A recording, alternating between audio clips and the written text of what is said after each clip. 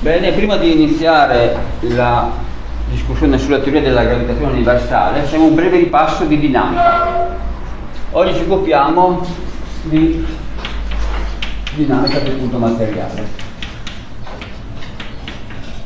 che è la parte della fisica, della meccanica, che studia il moto in relazione alle sue cause. E la parola dynamis in greco significa forza il concetto principale della dinamica è il concetto di forza. Forza è tutto ciò che causa variazioni nello stato di moto, cioè cambia lo stato di moto.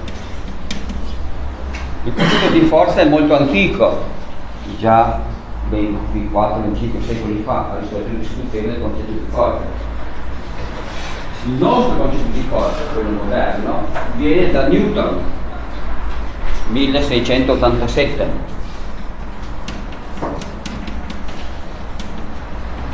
Ed è contenuto nella più grande, la più importante opera scientifica mai scritta, i principi, che legano la forza, danno le regole con cui funzionano le forze.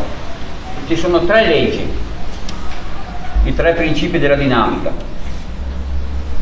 Il primo principio, che in realtà non è di Newton, Newton lo, spesso lo dice, lo prende da Galileo, ma in realtà i primi risultati del principio di inerzia sono molto più antichi, terzo secolo a.C.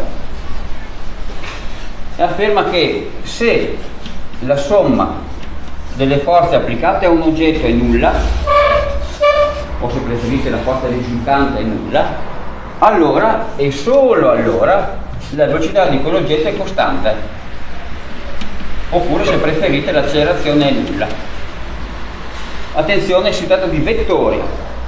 Quando scrivo la freccia sopra significa che è costante in intensità direzione verso.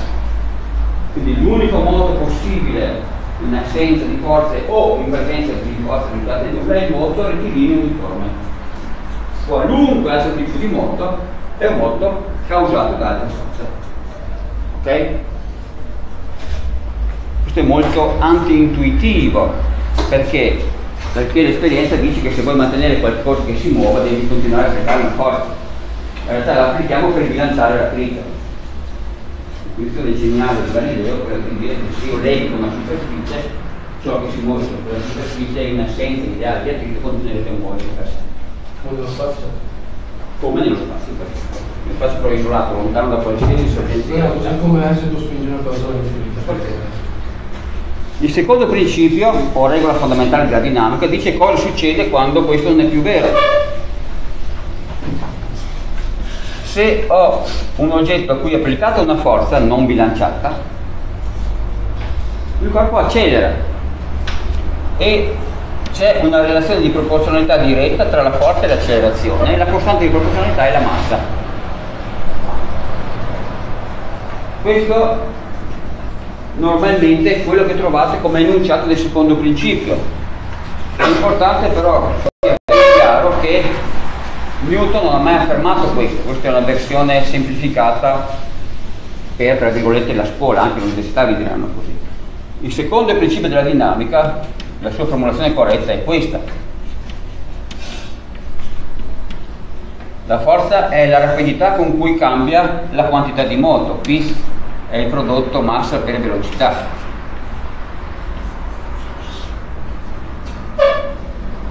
Quella è la vera formulazione è figura temporale è quella che si usa abbastanza spesso, ma le due coincidono solo se sistemi che hanno, che hanno, che hanno scusate, massa costante.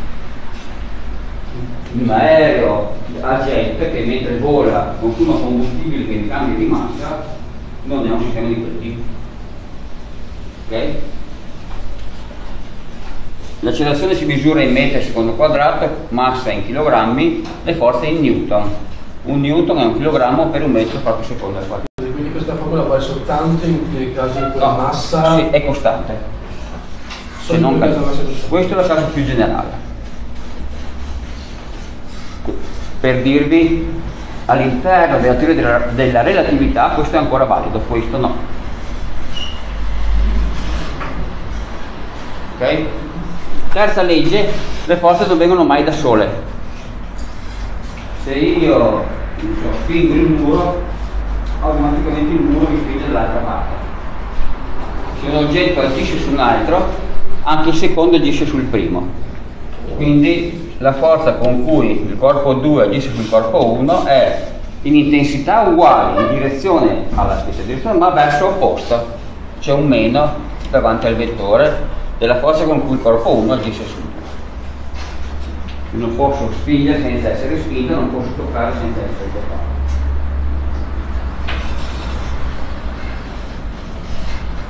Ok? Tutto chiaro? Se torniamo a considerare la seconda legge della dinamica,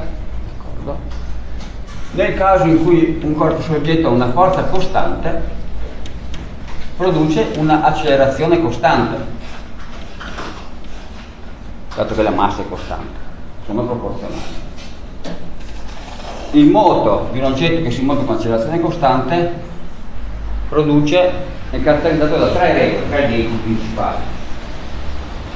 Vi ricordo che l'accelerazione è la variazione della velocità nell'intervallo di tempo, quanto rapidamente cambia la velocità.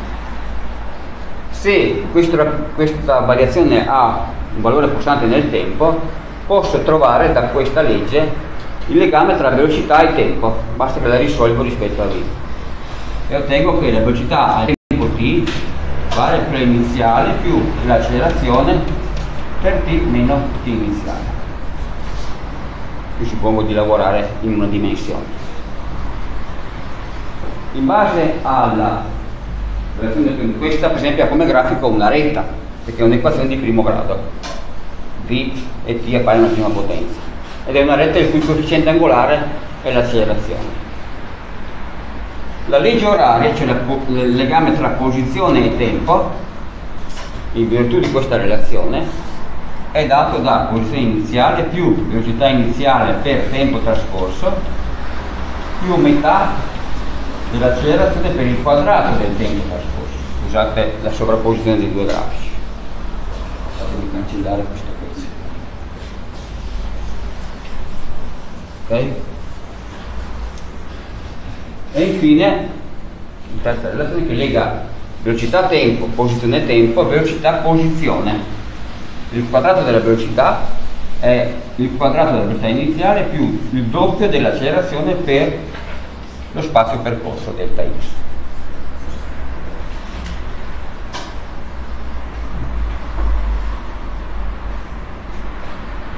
Ok?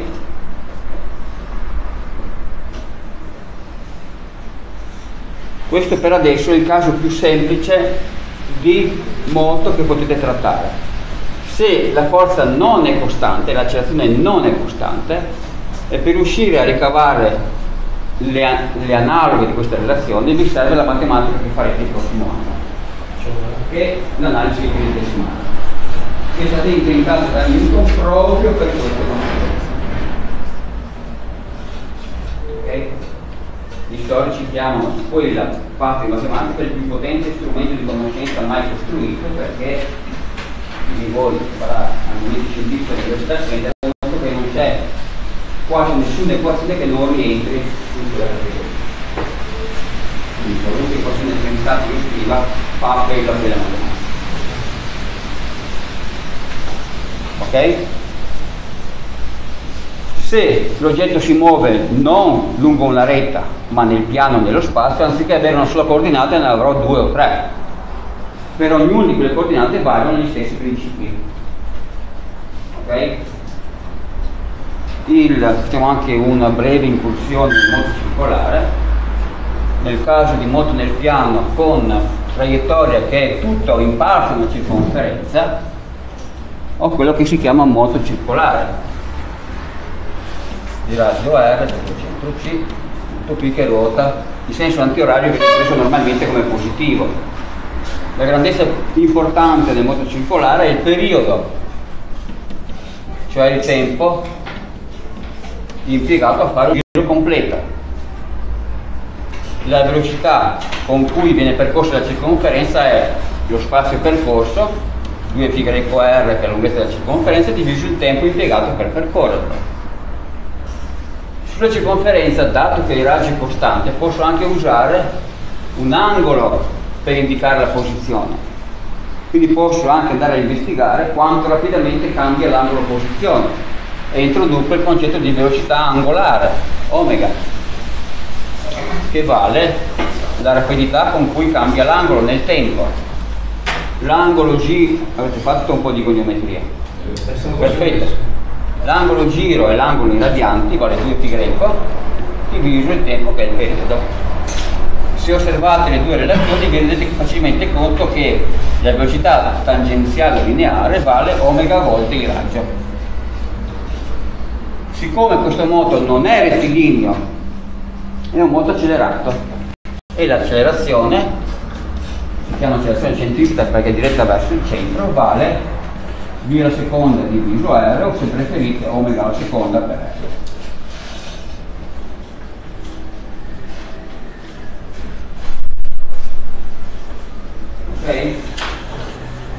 Questo è super rapidamente quanto di essenziale c'è per il di un punto materiale, per cui di cui non ci interessa la forma o l'estensione. Se invece è importante sapere un corpo che, in cui lavora un corpo esteso, posso cancellare?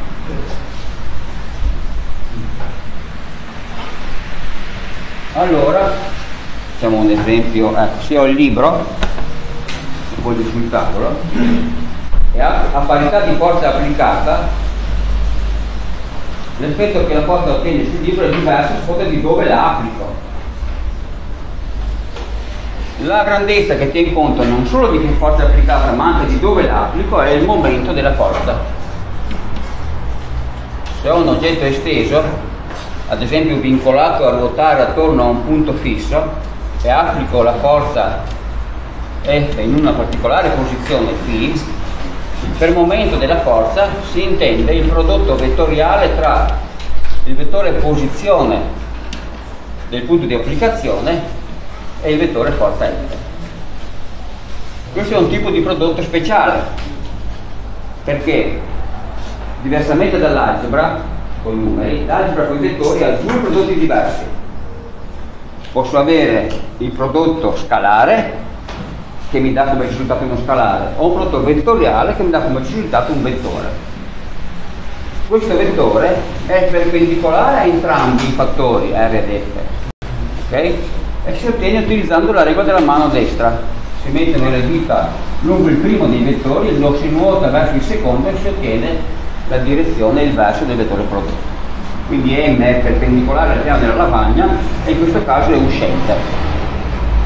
Attenzione a una cosa particolare del prodotto vettoriale, è anticommutativo, cioè R per F e F per R sono opposti. Faccio F per R o un vettore entrante. C'è una domanda? Non ho capito il momento è una grandezza fisica utile per tener conto non solo della forza, ma anche di dove la applichi. Perché il momento, se io applico,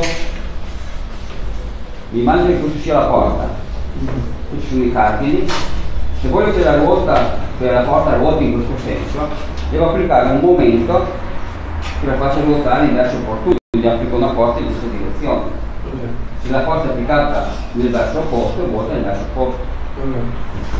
Di fatto, il, come la forza è legata all'accelerazione, anche il momento, se è un corpo rigido, è legato all'accelerazione angolare dell'oggetto.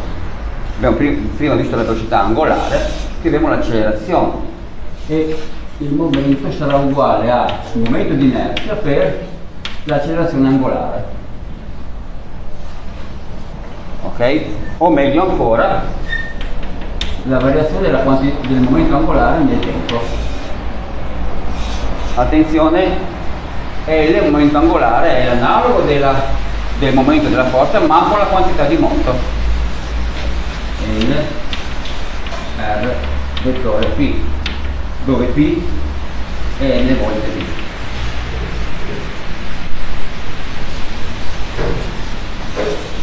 Ditemi se tutto questo vi è già noto oppure no. Sì, è lo scorso. Benissimo. Se non ci sono domande o richieste di altre spiegazioni, passerei a fare qualche esercizio.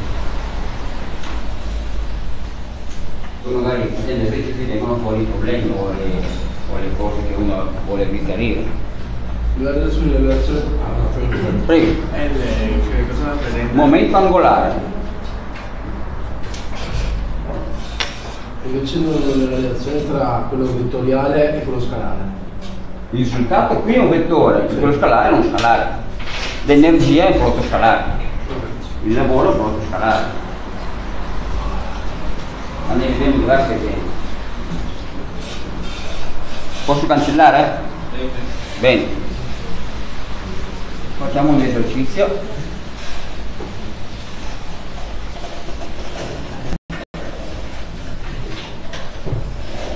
Poi la volta prossima vedremo in particolare le leggi di conservazione, che quelle sono fondamentali. Io vi proporrei, per esempio, il problema 4 a pagina 122.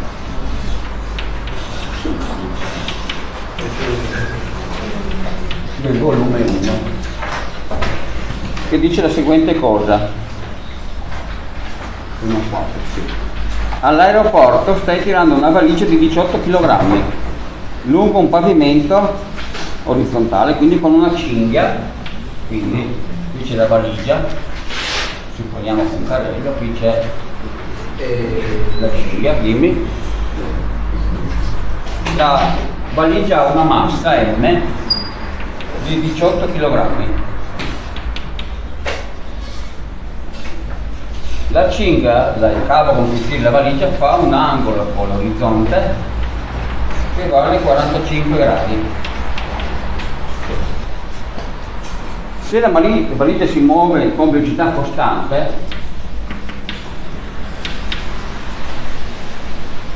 eh, e il coefficiente di attrito tra la valigia e il pavimento Mi è di 0,38 determina la tensione della cinghia e B, c'è un'altra domanda, la forza normale.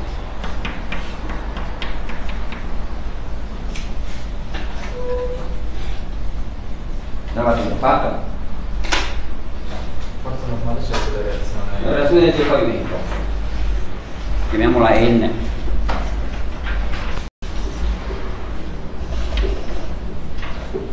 ok?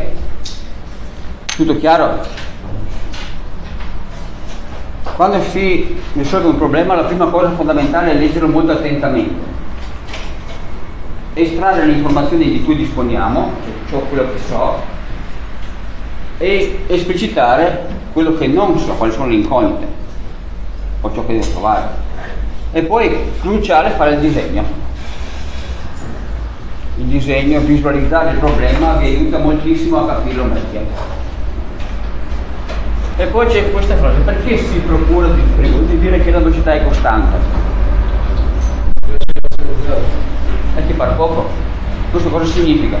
Giusto? No, è nulla. Ah sì, la forza è giusta se la velocità è costante l'accelerazione è nulla, la forza è nulla, cioè sulla valigia la risultante è zero. La somma di tutte le forze è zero. La somma di tutte le forze è zero. Allora devo vedere quante e quali forze agiscono. È più chiaro? Benissimo. C'è sicuramente la tensione della valigia, la tensione della fune. C'è la forza peso e c'è la reazione vincolare, la reazione normale. C'è anche l'attrito. Quindi... E giusto. FA. Stavo dimenticando l'attrito. Quindi qui idealmente consideriamo come un punto materiale la valigia e a questo applichiamo tutte le forze. Quindi ho peso, tensione, reazione normale e forza d'attrito. Questa è una T, eh, anche se è scritta male. Il peso come è fatto? Che rotolo che prodotto cioè massa, massa per alla gravità. Il modulo del peso è m volte g, con g 9,81 metri a secondo quadrato. La forza d'attrito, la forza d'attrito in questo caso è n, Quindi ok? F. quindi FA vale m volte n. Perché ha messo, il numero? coefficiente d'attrito per la forza premente, che in questo caso è la, forza, la reazione vincol- normale del, al piano. Ok? La tensione non so quant'è. Devo calcolare. Fa la proiezione sul per, per così. Un modo per risolvere il sistema è Scomporre. scomporre, esattamente. Ok, C'è un altro modo che imparerete probabilmente dopo che avete fatto trigonometria, che è il modo trigonometrico. Per adesso basta quello della scomposizione. Per scomporre è necessario associare un sistema di assi cartesiani al sistema. Posso metterlo dove voglio, c'è una legge fisica che mi dice il sistema deve essere lì o là. Certamente scelgo il sistema più comodo. Siccome ho già due forze perpendicolari, sceglierò per esempio un asse verticale e un asse orizzontale. Chiamerò x e y.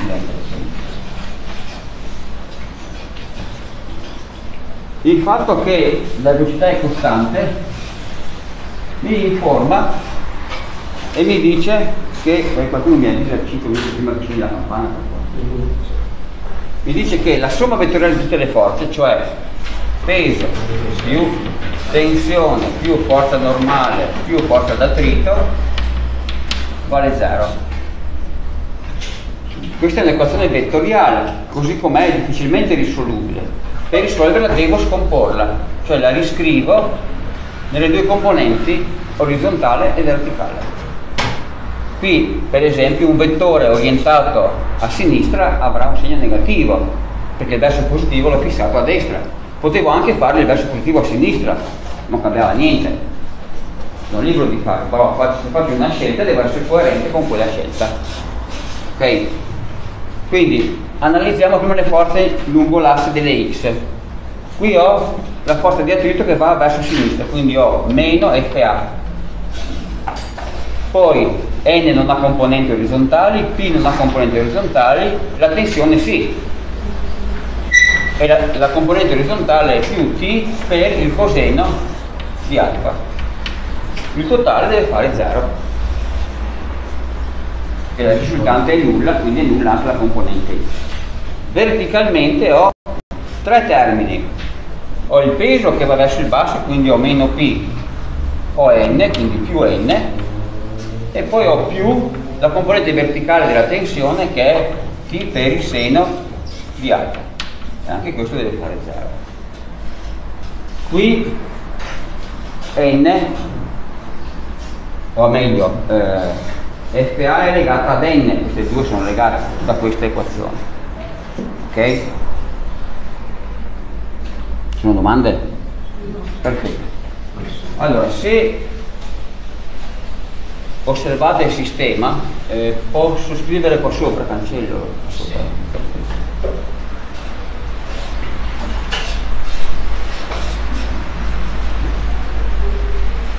Abbiamo che T coseno alfa uguale quanto la forza d'attrito che è mi volte n. Sotto che T sen alfa vale P meno n.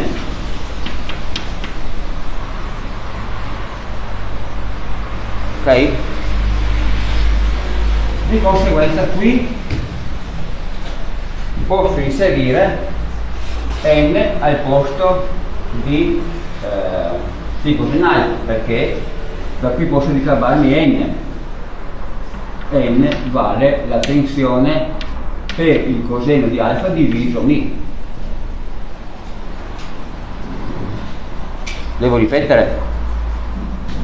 Lo inserisco nella seconda equazione e ottengo quindi ripeto n vale p cos alfa diviso mi quindi ho p sen alfa è uguale a p meno p cos alfa diviso mi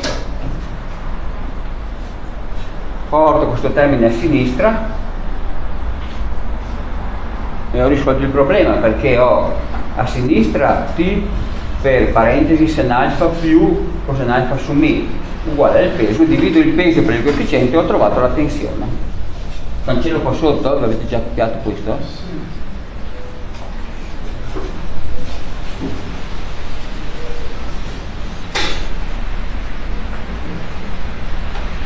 Allora, P per sen alfa.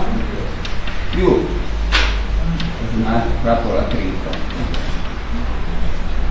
divido per la parentesi e ho che la tensione vale il peso diviso in alfa più.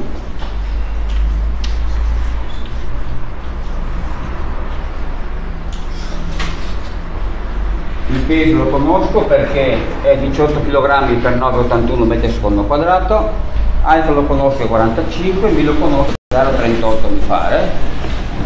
Se metto i numeri al loro posto e svolgo il calcolo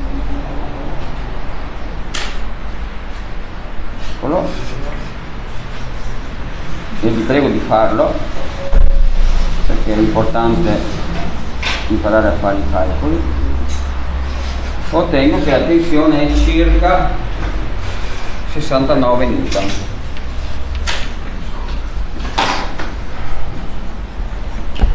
una volta che ho la tensione posso trovare anche la reazione normale. Basta che sostituisco tipo qua dentro n viene circa 130 newton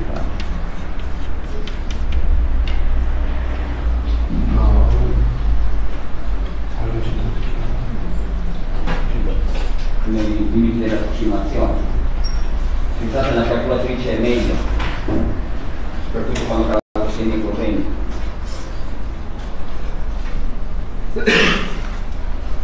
ci sono domande? Aspetta, lo rifate a casa e vedo se riesco a fare velocissimamente anche il 5. Posso cancellare? Grazie però, alla fine 125 è ragionevole, la seconda testa, la terza cifra significativa potrebbe saltare a seconda di come avete approssimato i segni coseni.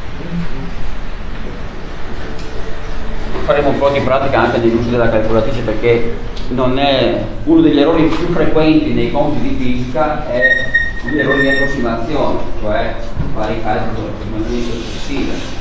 Questo si evita semplicemente abituarsi a usare, abituandosi a usare in modo diverso la calcolatrice non è un buon problema.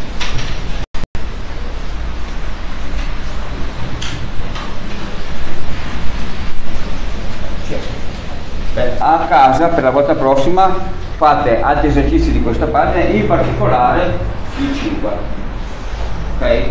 se ci sono difficoltà me lo dite. Il 5 e gli altri. Fate tutti ancora meglio.